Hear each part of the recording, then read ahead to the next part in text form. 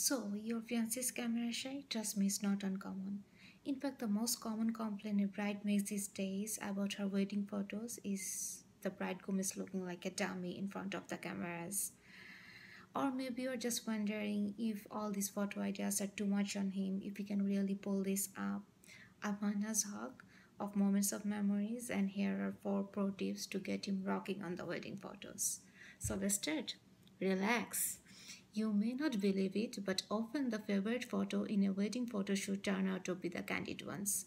Yes, it is intimidating to have all the guests around walking on the aisle and to be the center of everything.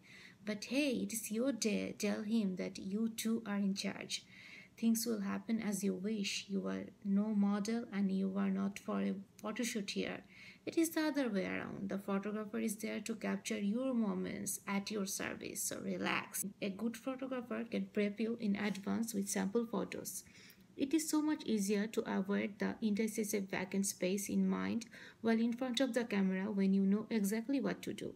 Another great idea is to browse through Pinterest and pick your favorite wedding photos and brief your wedding photographer accordingly. Angles do matter. I have had clients who, even after all the preps and reference photos, could not stop looking like a dummy or scared. When I have camera shy clients, I always start with poses that have them looking away from the camera.